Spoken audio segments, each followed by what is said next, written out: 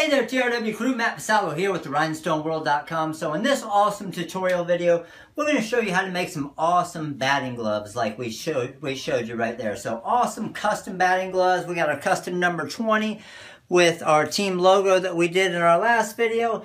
Well, we're going to show you a different approach on a different style of glove. So looking, we obviously couldn't do it the same with the branding, everything on the strap right here. So we got to switch it up a little bit. So what we did on this one is we put the logo there on top, and then on the back, we put the custom number. So I'm going to show you how we pressed the number 20 right there, and then show you how we pressed our SS logo as well. So let's get our undone glove right here and show you exactly how we did this.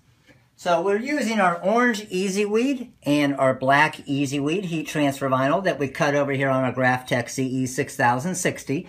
So two color design right here, I'm gonna press and layer them directly on top of each other. We're gonna do the black first and the orange second. So we can actually leave the orange right here because I know we're just gonna press it straight to the top of our actual heat press here.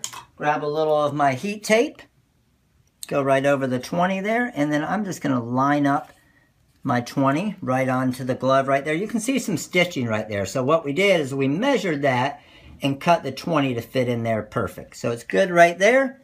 I'm just going to drop that right up against the heat platen there. Just push it for a few seconds. Get that initial application on there just so it's adhered to the actual material. And then we're going to come back with the second color of the design, our orange. So I'm going to grab a little bit more of our heat tape here pick up this number 20 here and then let's go ahead and align this. So we have the little outline of the black going around it, which looks good right there.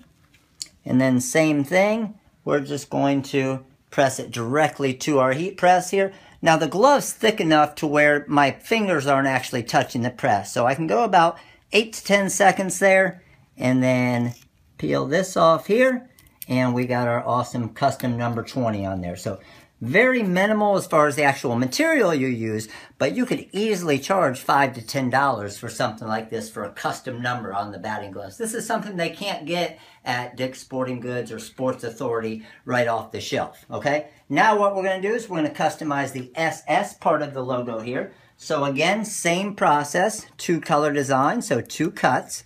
We're going to do the black first. So we're going to grab some of our heat tape here. Now what I'm going to do with this is I'm just going to, you can grab anything you want. I just have an actual pair of shorts here. And I'm basically just going to stuff the glove.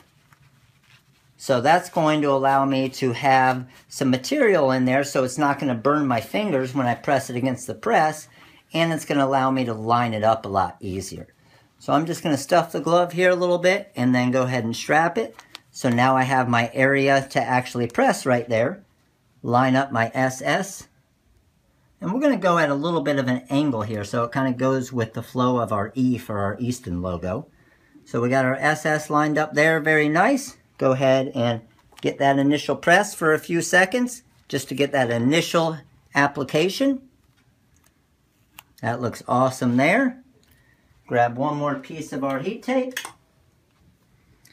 Pick up the orange inside. Line this up perfectly. That's looking beautiful there. Press this to the press, and again, we're going to go about 8 to 10 seconds for the second press here. And I'm giving it some pretty good firm pressure there to be able to make sure that it adheres good.